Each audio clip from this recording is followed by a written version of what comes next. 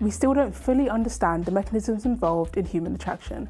What actually makes us attracted to one another? One theory suggests it may be to do with our scent, or pheromones to be precise. Pheromones are chemicals produced by the body, and two of these, androstenedione and estratetraenol, are found in human sweat and are closely related to the male and female sex hormones. We already know that other mammals, including pigs, use pheromones for communication, and that they play an important role in mating. But is it the same for humans? A 2014 study tested the effects of these chemicals on perceptions of gender, and participants were asked to discern whether moving dots arranged to look like a human walking were masculine or feminine. What they found was that heterosexual men were more likely to consider the figure to be female when sniffing a solution containing estratetraenol, while heterosexual women were more likely to identify as a male when they smell androstenedione. Also, gay men responded in much the same way as straight women. Despite this data, definitive evidence of human pheromones is still lacking, with many conflicting findings, irreplicable results, or false positives due to small sample sizes. So while the jury is still out on pheromones, perhaps for your sake and ours, don't abandon your soaps and deodorants just yet. And if you're ever around pigs, try not to sweat too much. Which side is your good side? Most of us have a side that we think looks best, but symmetrical faces are often touted as being more beautiful. But is there any truth in this? The idea comes from evolutionary advantage theory, which suggests if developmental gene expression is perfectly executed, the result should be perfect symmetry.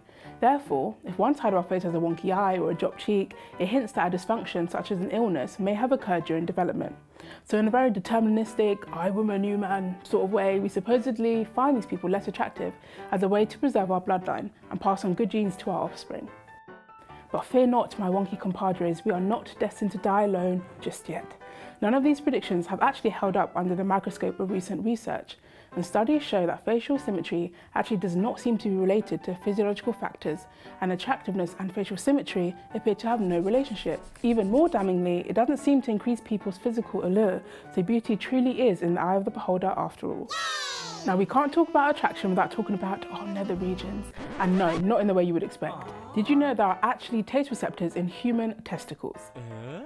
But what on earth are they doing there? Now, before you go around trying to taste things with your testicles, if you have them, the actual truth of the matter is both less and more exciting.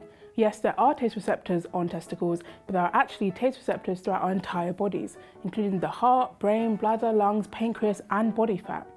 Whilst they can't actually taste anything in the same way we can in our mouths, receptors in these organs are still sensing molecules, sending messages that helps the body maintain the right metabolic environment in that organ.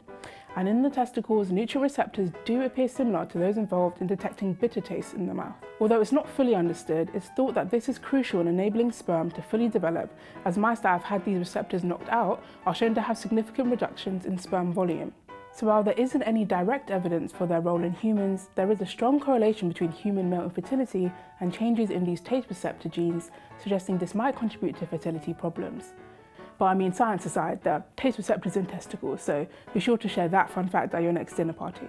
So whilst we're not that much closer to understanding the mysteries of attractiveness, it's fun to consider the weird and beautiful ways our body keeps us guessing. Testicles! Can I call them something else? Because I feel like the balls is not scientific enough, is it?